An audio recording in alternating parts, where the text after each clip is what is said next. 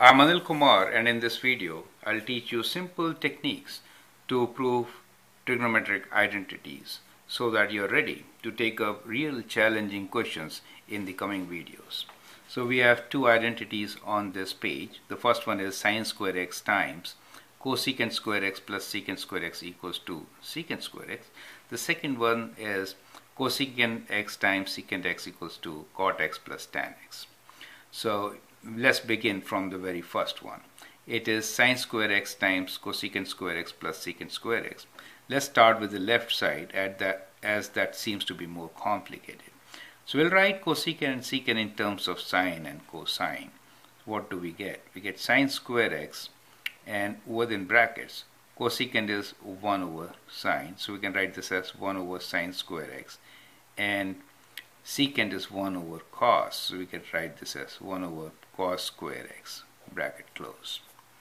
Now at this stage what we can do is we can take common factor and then we get left side as equal to sine square x and once we take the common denominator which is sine square x cos square x in the numerator when we cross multiply we get cos square x plus sine square x right now as you know Pythagorean identities cos square x plus sine square x is 1 so we get sine square x times 1 over sine square x plus cos square x right? Oh sorry times. This is product in, in the denominator. Now you can cancel the sine square x correct so what do you get? You get 1 over cos square x which is indeed secant square x or the right side. So that is how you can prove the trigonometric identity correct?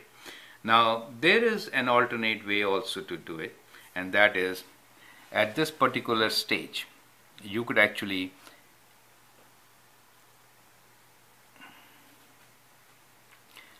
expand and get to the right side. So this is this is one way of doing it.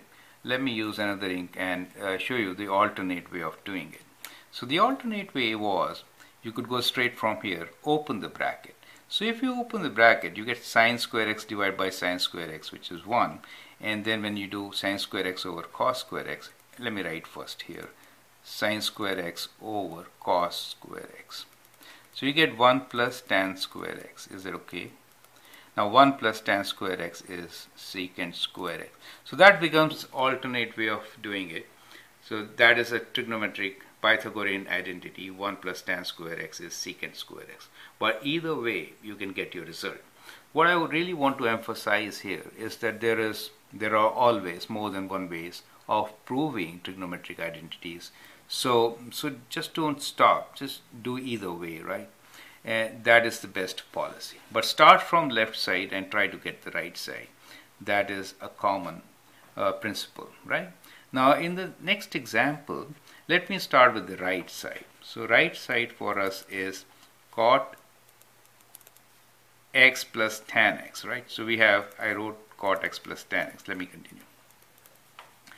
So let us write them in terms of sine and cosine. So cot x can be written as cos over sine, right? So we write cos x over sine x. And tan x can be written as sine x over cos x. Now we can take the common denominator and cross multiply.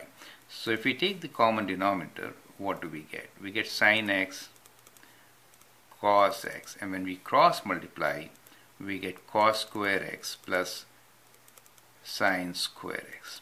Now as you know cos square x plus sine square x is 1 right? So we could write this as 1 over sine x times cos x correct?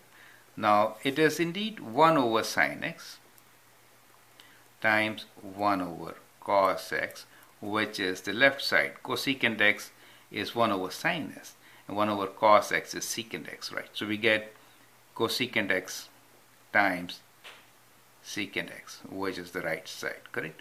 So you could prove uh, identities in this fashion, I mean left side. correct so these are two very good examples to start with and they give you insight to techniques which we are going to use to prove trigonometric identities i hope that helps i'm anil kumar you can subscribe and learn a lot about trigonometry and proving identities. Thank you and all the best